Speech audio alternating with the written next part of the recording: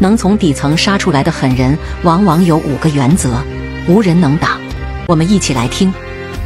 原则一：资源抢夺。这个社会上的资源是有限的，要想从底层杀出重围，你就不能太谦卑礼让。如果你注意观察，应该就不难发现，能从底层杀出来的狠人，多少都是有一些匪气的。什么是匪气？就是指他们敢于抢夺资源。当然，他们也有谦卑礼让的时候，但即便谦卑礼让，也只是为了给自己树立一个好的形象，以便在机会到来时抢夺到更大的资源和利益。所以，要想底层突围，你必须觉醒抢夺资源的认知，千万别当老好人、烂好人。原则二：忘掉公平，优胜劣汰，弱肉强食。要想底层突围，就得认知觉醒，忘掉公平，不再追求公平，只是追求不断的让自己变强。即便是遭遇不公平的事情，也别去责怪和埋怨不公平，从自己身上反省原因，弥补自身缺陷。发挥自身优势，不断提升自身实力。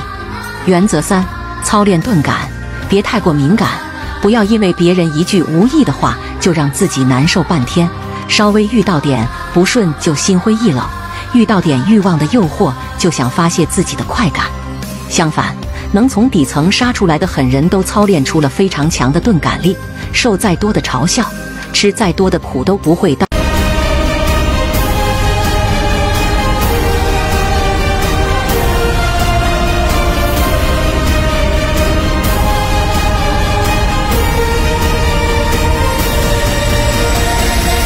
一回事，而且非常懂得延迟满足。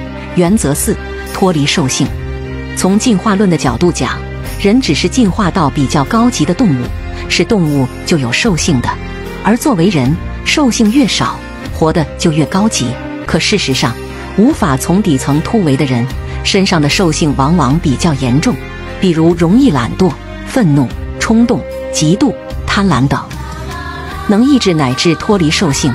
外界有法律，而自身则靠的是自律。原则五：核心决策。